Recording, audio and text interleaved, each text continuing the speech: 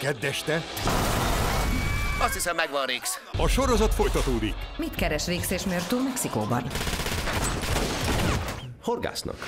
Még őrültebb, Gránát is van nálad? Ott egy otthon, és elhoztam. még szórakoztató, Valaki megfizet ezért a pandáért. még halálosabb. Roger, mi volt ez? Csak Rix elsütött egy rakétavetőt. Halálos fegyver. A második évad. Kedden és csütörtökön 22 óra 10 perckor az RTL Klubon.